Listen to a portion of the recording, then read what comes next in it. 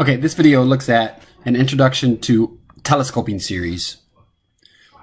We've been looking at geometric series for the past few videos. Now we're moving forward to the second special kind of series that you can find out what the sum is for. It's called a telescoping series.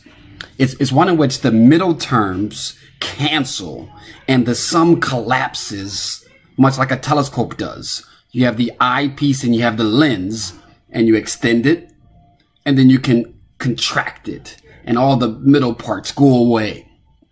Thus the name telescoping series. Let's see an example. We have the sum as n goes from 1 to infinity, 3 over n squared minus 3 over the quantity of n plus 1 squared. Okay, our job is to find the sum. Uh, first off, does it converge or diverge? Uh, if it converges, find out what the sum is. Both for geometric and for telescoping, you can do that, finding of the sum. So, you know, the sum is equal to the limit as n goes to infinity on capital S sub n. Capital S sub n is the nth partial sum. It's stopping after n terms. We have to introduce this new variable, a counter, basically k. And so we go from k equals 1 to n. We add up a1, a2, a3, and we stop when we get to an. And so let's look at k equals 1. Uh, what does a1 look like? If you plug a 1 into that, you get 3 minus 3 fourths. If you plug a, a, a 2 into that, you get 3 fourths minus 3 ninths. You could call it a third, but best to leave it as just 3 ninths. And so what we have right away after two terms we have cancellation starting. We have the negative 3 fourths from the k equals 1 term and the positive 3 fourths from the k equals 2 term. They cancel. So here's how this works. The cancellation, you, basically you go up until you get your first cancellation. And then, you know, this, this, when you, this is, uh, we have to add up these terms here.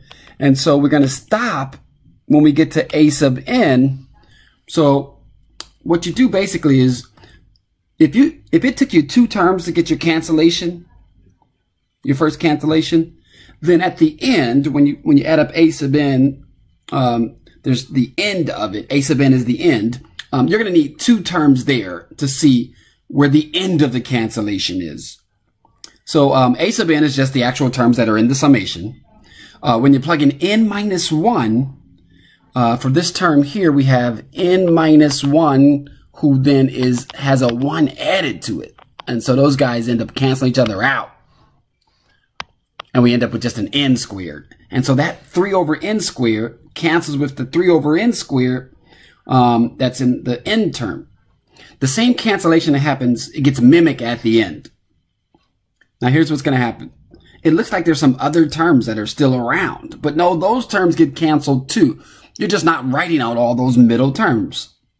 You see, any term that has a counter or a subscript, basically, that's going to be um, higher than the than the k equals two is going to be used to cancel. Any term that has a, a subscript or a counter lower than n minus one will be canceled out. Let's see how that's going to work. Um, you don't have to write this, but let's look at the third term. k equals three. It starts with 3 ninths and has a minus 3 sixteenths. Okay?